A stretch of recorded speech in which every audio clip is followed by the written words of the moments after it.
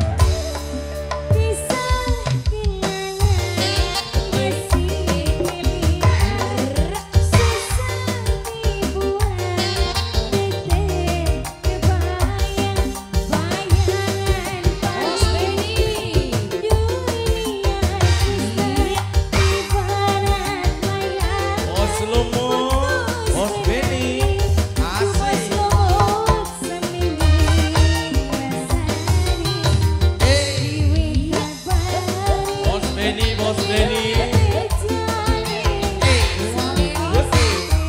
punya kawasan Negeri Lipangan